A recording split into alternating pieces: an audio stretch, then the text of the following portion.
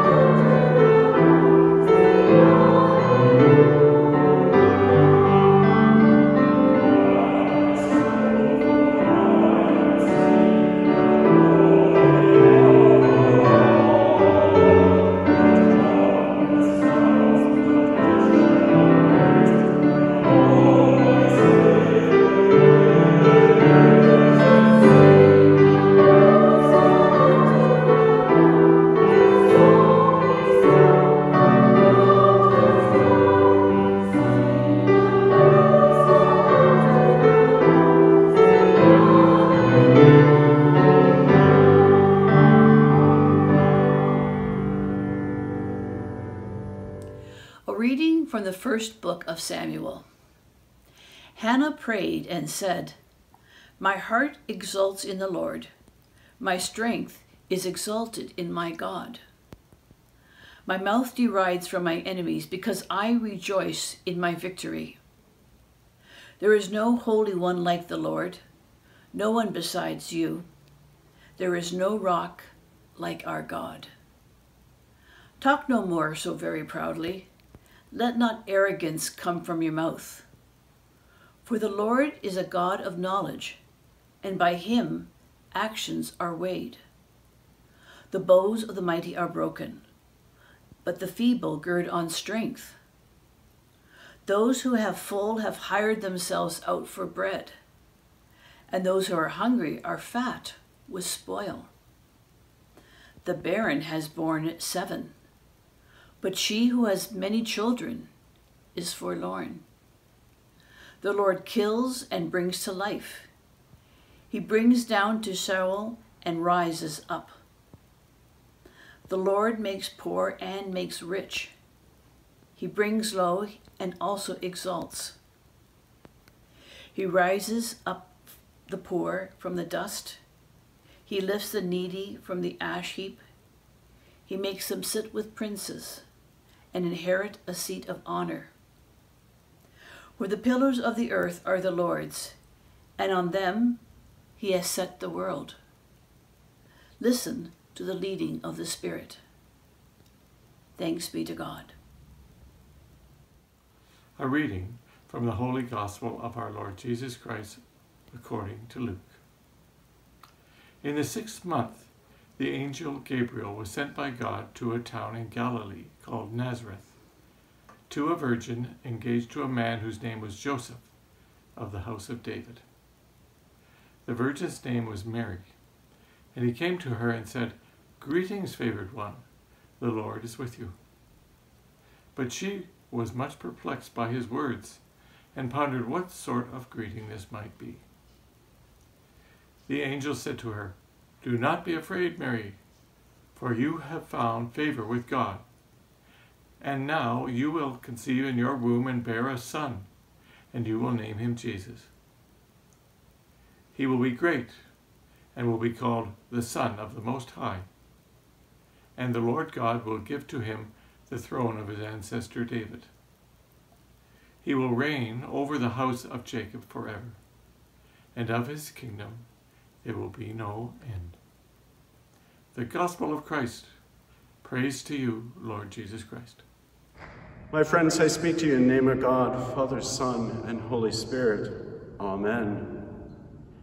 Many years ago, while studying theology, I came across a commentary on the biblical book of Job, written by the Latin American theologian Gustavo Gutierrez.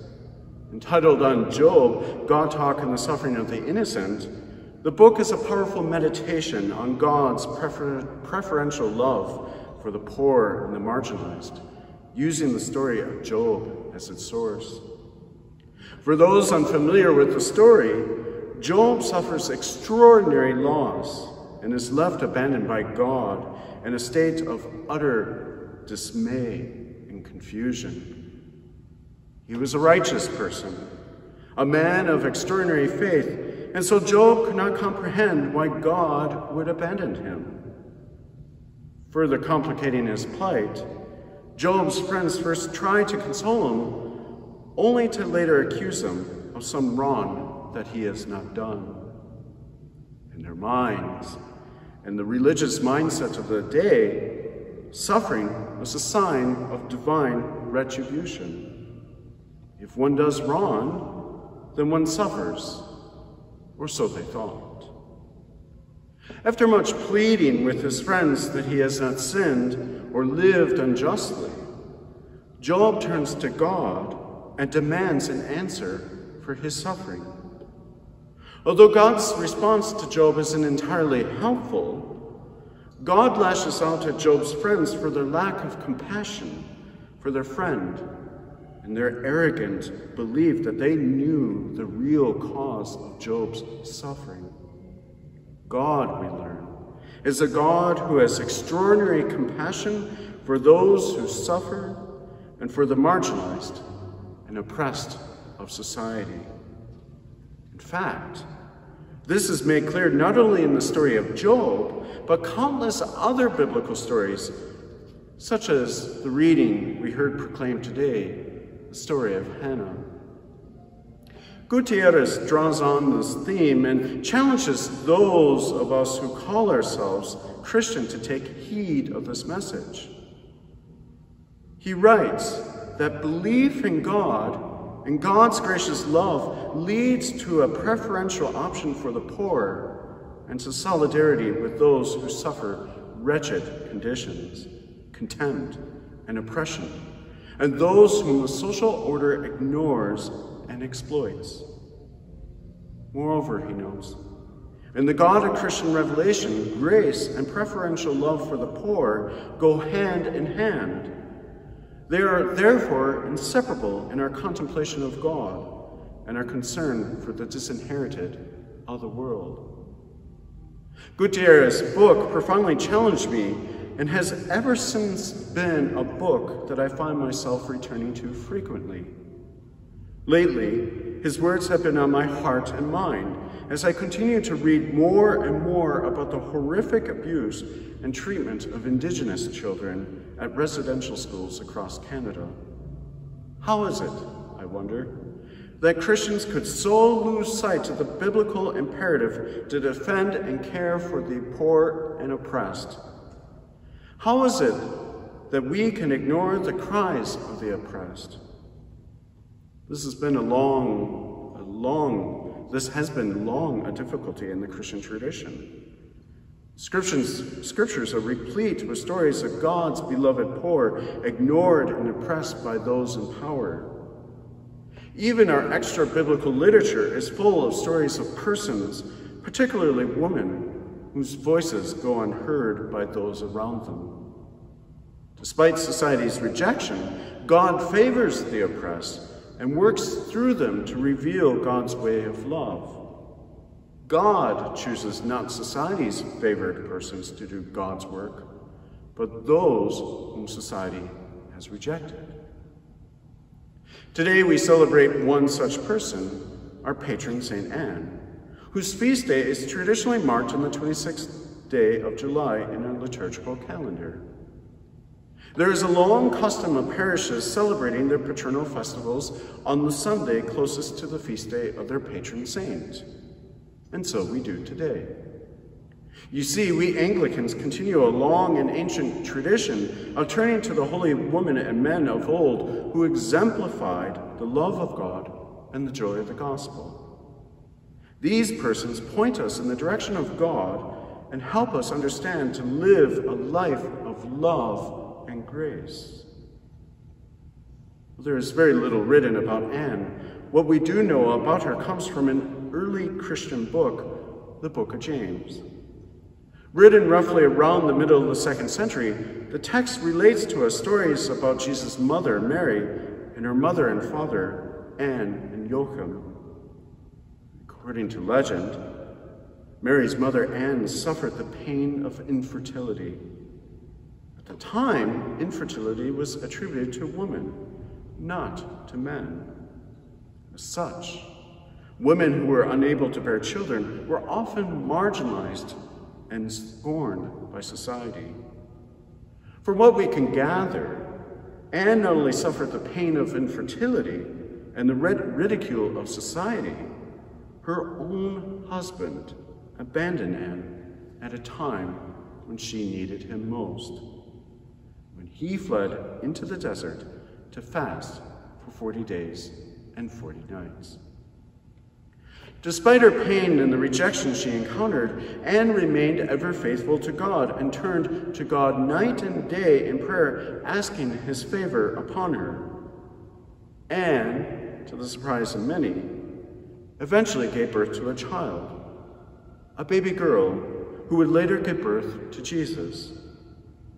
Once again, God's grace comes to us not from those who society exalts, but from those who are rejected by society.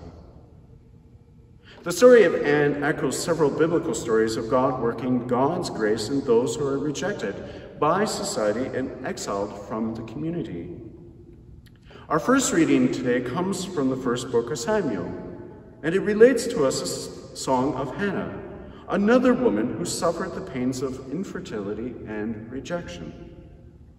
And once again, we hear in the Song of Hannah of how God exalts the oppressed and humbles the mighty.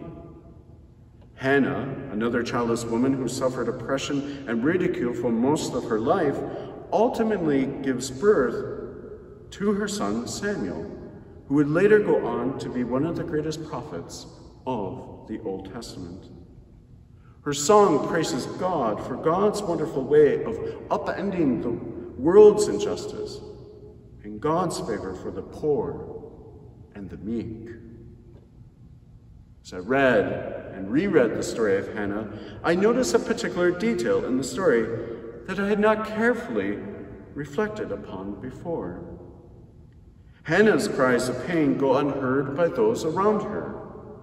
Although Hannah's husband, Elkanah, deeply loves her, he is incapable of hearing his wife's pain. Instead, he can't even understand why Hannah grieves. As he sees it, he is enough for her, and her grief is unnecessary.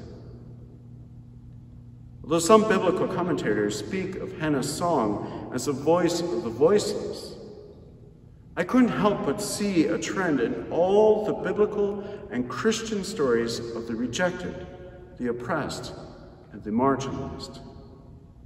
They are unheard by those around them. Remember, Job's friends couldn't sit and listen to their friend. Instead, they had their theological arguments for why Job was wrong. Recall, too, what happened to Anne. Her husband fled her and left her during a time of great need. He couldn't possibly just be present to his wife and listen to her cries of pain. Well, it may be true that Hannah, Job, and Anne are voices for the voiceless. I wonder if we need to take a moment's pause and ask ourselves whether we hear the cry of the poor and rejected. Why is it that we can't possibly hear the voices of God's beloved poor when they are in need, and only seem to think of them long after their prophetic voices open our deaf ears? How long must people suffer before the cries of pain eventually pierce our hearts and transform us? These questions, these are the questions that we, the Christian church, must grapple with. Contemplation of God cannot be divided from our listening to and care of the poor and the oppressed. There are also good for questions for us to consider as a parish as we continue our ministry in this community. This parish has a long and faithful history of listening to the voices of the oppressed and to walking with God's beloved marginalized. I feel deeply humbled and honored to begin walking with you on this journey as we continue to listen and discern God's call for us in this context. I know I can learn much from you, and I commit myself to always listen to you, to those in our community, and to all God's beloved poor, particularly those whose voices have gone unnoticed far too long. I pray that we may learn from one another, and that our contemplation of the Holy One of God, Jesus Christ, may continue to inspire us to bring the community together for the good and work with God's grace in feeding the hungry and uplifting the poor and the oppressed. And may all the holy ones of God, Hannah, Job, and Anna, pray for us and our ministry. Amen.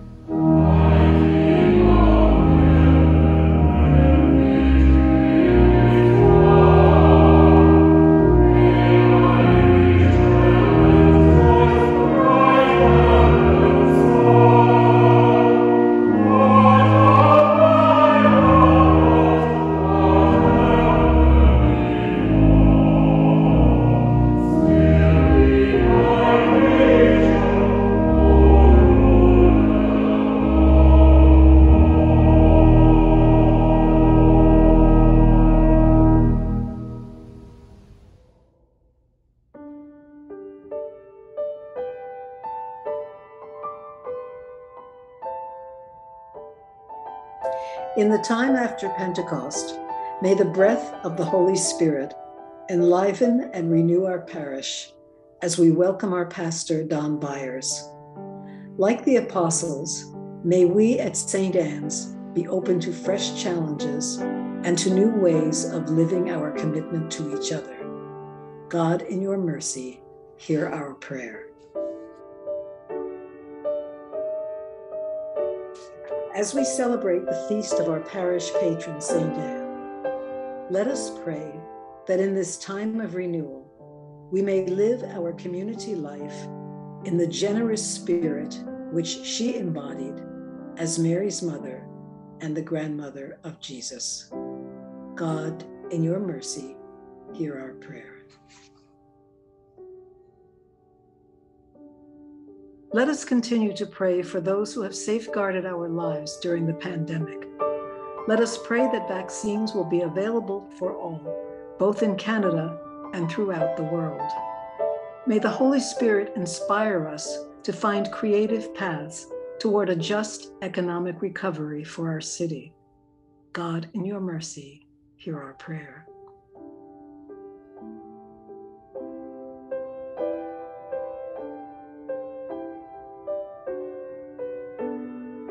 Let us pray to the Holy Spirit that we may discern her gifts given to us for the building of God's kingdom. May the flame of creativity inspire artists in every field, men and women of science, farmers, office workers, and laborers. May all work be blessed in God's eyes. God, in your mercy, hear our prayer.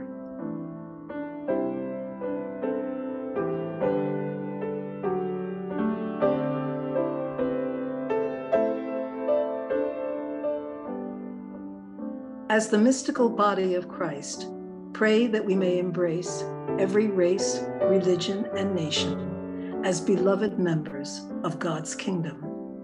Let us pray for the leaders of Canada and of the world, and for the work of peace and reconciliation. God, in your mercy, hear our prayer.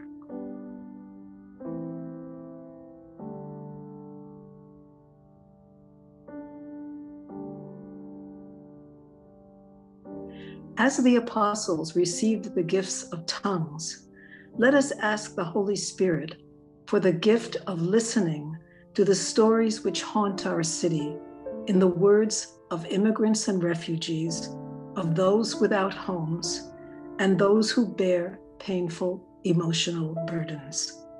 Let us listen and respond with care and attention. God, in your mercy, hear our prayer.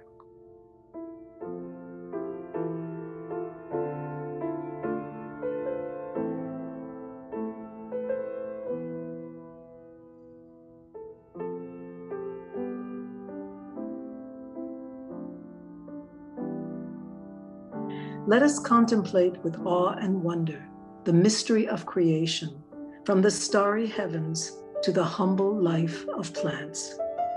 In the season of rebirth, let us pray for all nesting birds and animals with their young.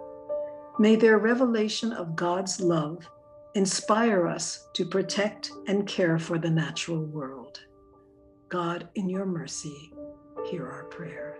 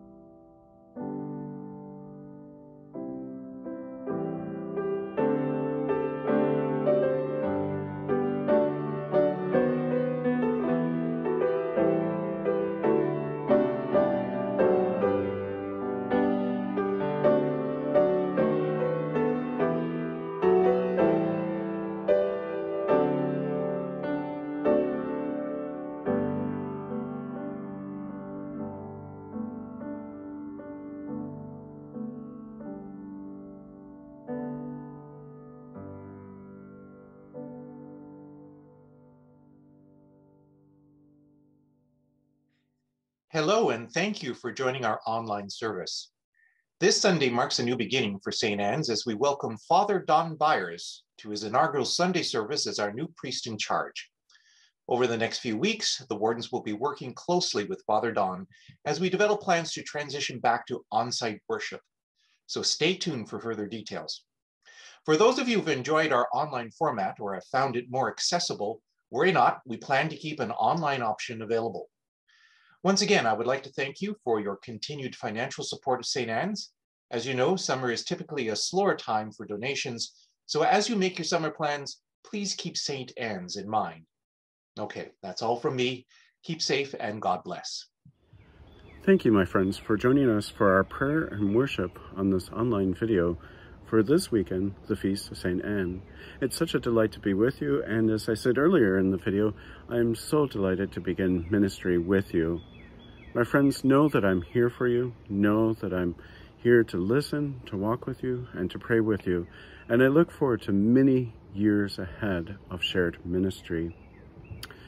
My friends, in the coming weeks, it is our hope and desire to once again reopen our doors to public worship.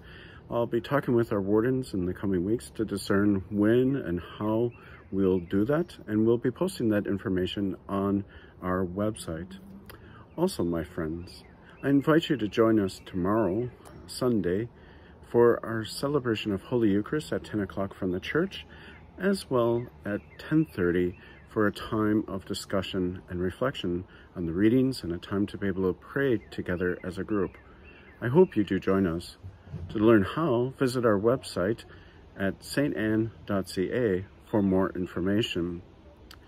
My friends, as I said before, I'm here for you, and I look forward to getting to know you, to working with you, and to serving you.